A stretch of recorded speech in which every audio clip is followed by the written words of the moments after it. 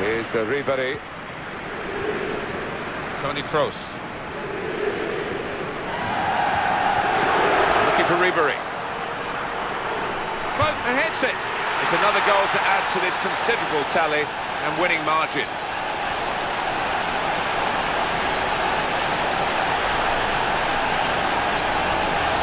Very, very good performance from these players. And another goal for them. They're stretching out in front. Yeah, they are head and shoulders above the opposition at the moment. Good look here, again, by the replay of the goal.